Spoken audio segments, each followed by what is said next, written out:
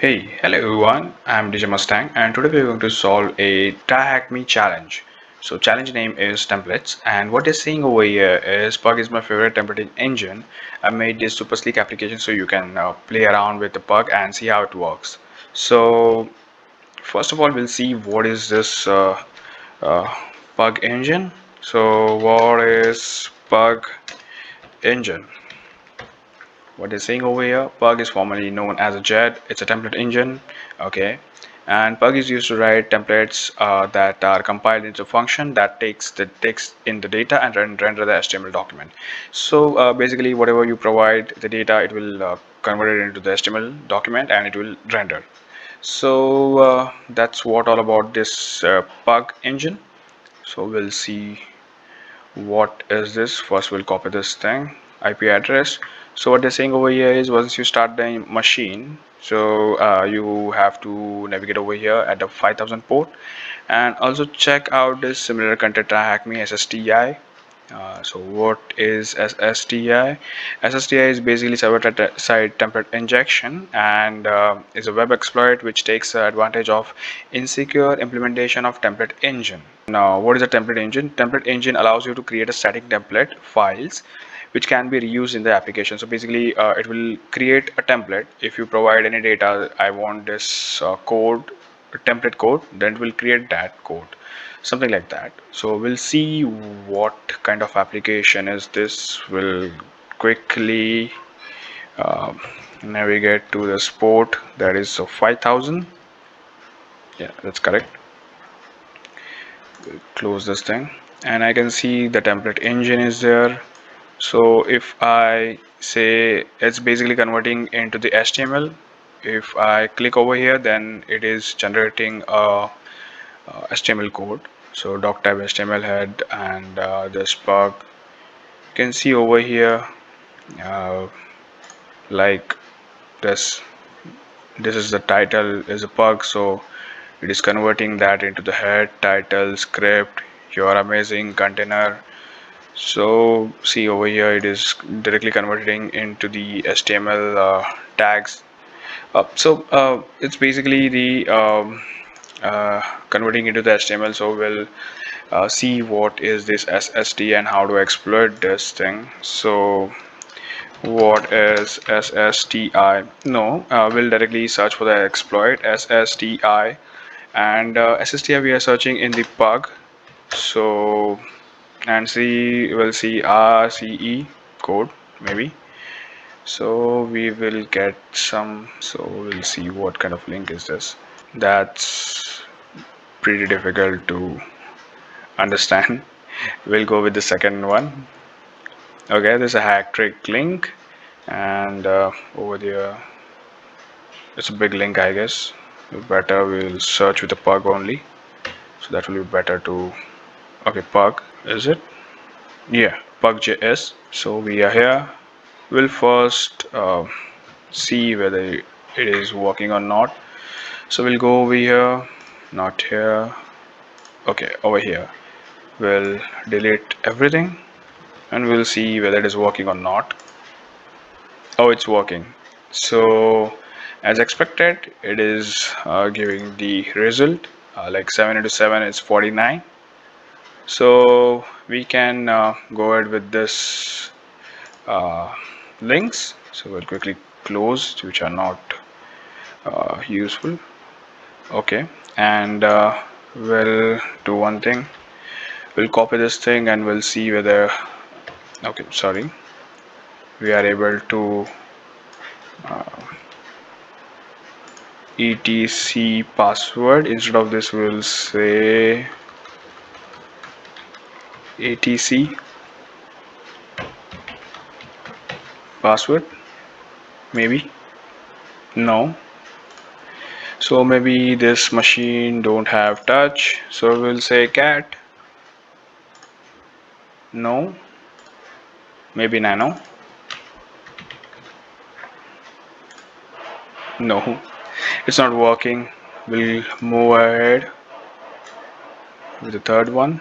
This one and uh, okay. We'll quickly delete everything.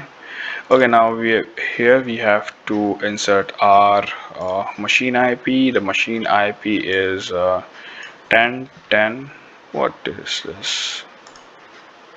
10955 so this is like uh, 10 9 5 5 2 4 1 is it? Oh okay. We'll do one thing.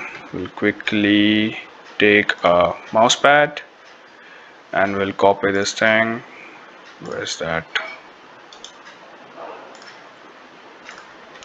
And uh, our IP address is 10955.241 and we're going to host it on the 7777 and uh, obviously uh, we'll just check the connection or try to fetch any file so first of all we'll say and see nlvp and 777 we'll start listener on 777 port.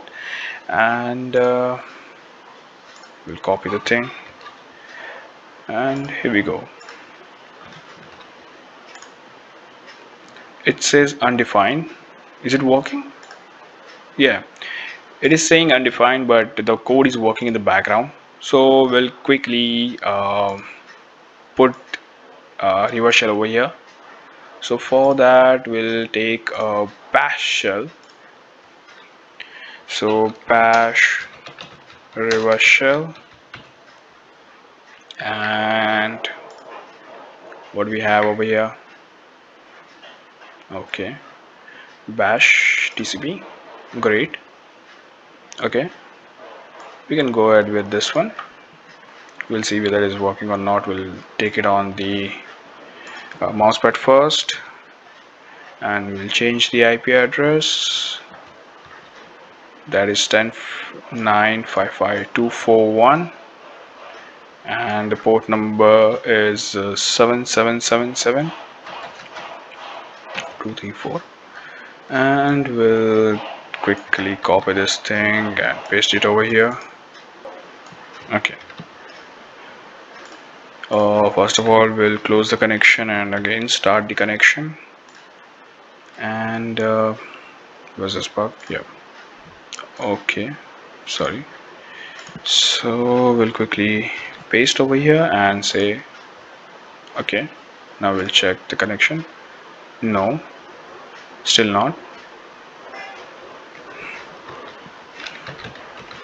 We'll quickly check the code again.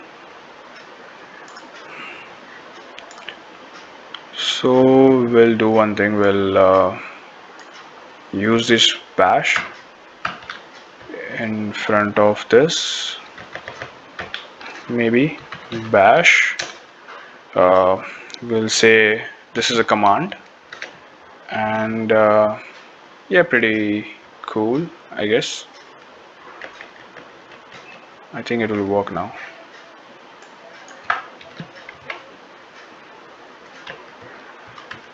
Seven seven seven seven. Will go behind. And okay. So uh, I think there is a problem with the this one uh, maybe we can solve this thing. So we'll go over here and we'll put this thing in the double quote. So we're going to you know close this double quote over here and we're good to go